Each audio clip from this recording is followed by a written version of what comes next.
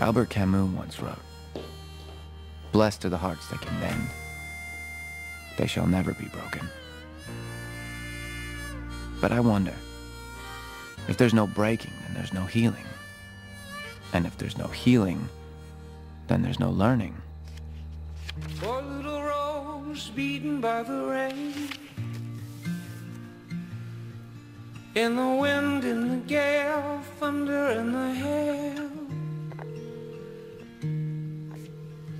Sometimes I feel like I'm going insane. And if there's no learning,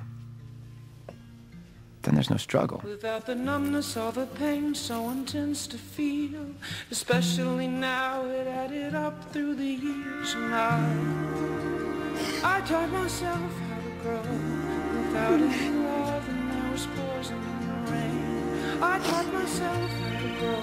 Now I'm crooked on the outside. But the struggle is a part of life. Hey.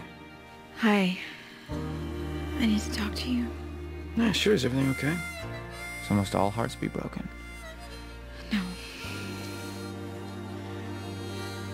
You can't marry Lindsey.